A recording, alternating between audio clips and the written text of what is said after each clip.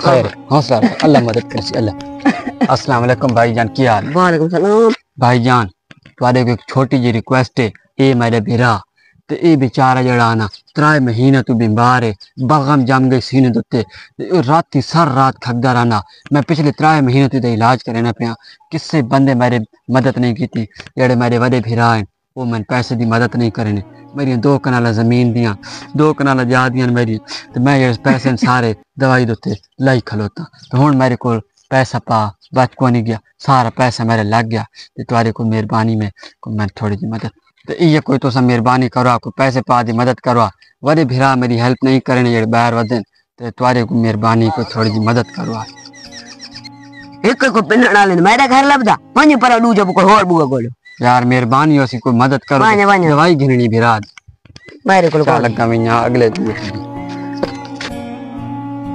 हजरात एक ज़रूरी ऐलान सुने आए शुरली का भाई रजा इलाई से वफात पा गया है। ओ शोधा टोर गई हो। काश मैं इसकी मदद करे ना। हाँ भाई ना चलो रहा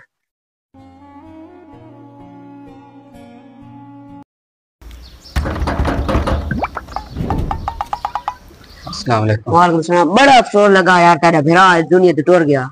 जी ये वाक्य जड़ा ना मेरा बिरा इस दुनिया ते टुर गया। अल्लाह दी मर्ज़ी। भाई तो सही करना मेहमाना दी रोटी असाड़े घर सी आज तो रोटी न पकाए। वो तो तुम्हारी गल ठीक है भाईजान तुम्हारी गल याद है कोई रहा पहले मैं तुम्हारे को मदद मंगण आया कि मेरा बिरा सख्त बीमार है कोई पैसे ने अगर हो सके तो मदद कर दो याद है ने? याद है। उस तिहार तो मैं घरों धिक्के मार के बाहर कर दिया खुदा दी कसम ही बड़ा दिल दुखी आई। जिस टाइम बंदा ज़िंदा होना है ना, ज़िंदा, उस टाइम रिश्तेदार का हक बनता है कि उसकी कोई मदद करे। बीमार है सारा रिश्तेदार। बाद रोटियाँ पकावन मदद की ज़रूरत को नहीं होनी।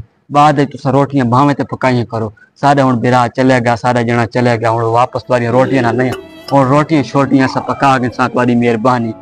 दफनाई इंसान मज़ीद ऐसी वीडियो देखने के लिए हमारा यूट्यूब चैनल सब्सक्राइब कर लें।